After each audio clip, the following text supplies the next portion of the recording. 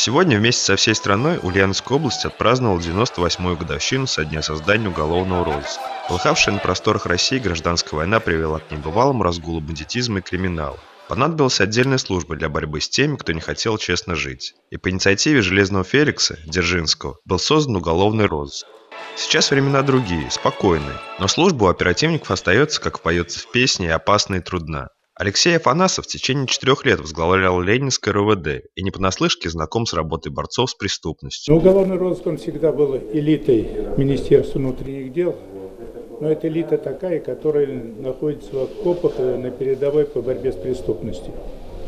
Они предупреждают, раскрывают преступления, разыскивают преступников и делают все, чтобы преступники получили заслуженное, объективное и справедливое наказание. Только за 9 месяцев задержано более 150 находившихся в розыске преступников. Раскрыто более 3000 преступлений, тысячи из которых относятся к категории тяжких и особо тяжких. Но в праздничный день только приятно. Ветеранов органов и доблестных продолжателей их дела наградил губернатор Сергей Морозов.